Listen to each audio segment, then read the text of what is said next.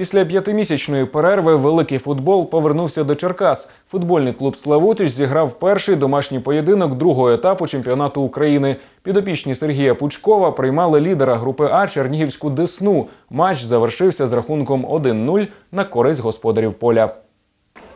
Поєдинок у Черкасах був центральним у другому турі в групі А. Чернігівська Десна завітала до нашого міста у ранзі беззаперечно лідера, маючи при цьому нуль у графі поразок. І саме в матчі зі Славутичем підопічний Олександр Рябоконя зазнали першої невдачі у чемпіонаті.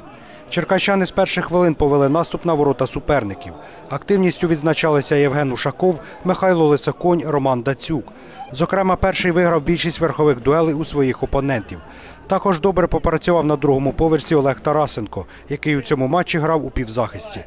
Чернівці відповіли досить небезпечними ударами Чепурненка та Мельника. Кінець першого тайму та початок другого минули в атаках Славутича. Запам'яталися два дальні удари Сергія Панасенка. Після одного з них свою реакцію довелося продемонструвати голкіперові Десни. А єдиний у матчі гол виявився несподіваним. Неузгодженість дій голкіпера гостей та захисника Жука призвела до автоголу останнього, який головою відправив м'яч у власні ворота. Після забитого м'яча господарі продовжували тиснути на захист суперників. Активно увійшов у гру Михайло Сергійчук, який мав кілька нагод для взяття воріт. У підсумку поєдинок завершився мінімальною перемогою Славутича з рахунком 1-0.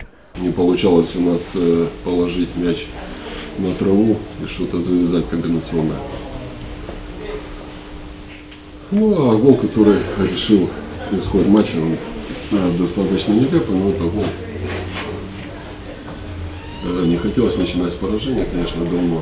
Уже забыли, что, что это такое. Тяжелая игра, вы представляете, какое напряжение у ребят было перед этой игрой. Хотели показать э, игру достойную, ту, которую мы с ними наигрываем. Молодцы, э, приложили максимум усилий. Но я думаю, что где-то э, боязнь за результат еще не до конца дала той возможности создать больше моментов. Незважаючи на поповнення свого доробку трьома очками, Славутич залишився на четвертій сходинці турнірної таблиці, адже обидві тернопільські команди теж виграли. Найближчої суботи на підопічних Сергія Пучкова чекає нелегкий двобій у Тернополі з Нивою. Олег Кукс, Анатолій Усіков, Віка Новини.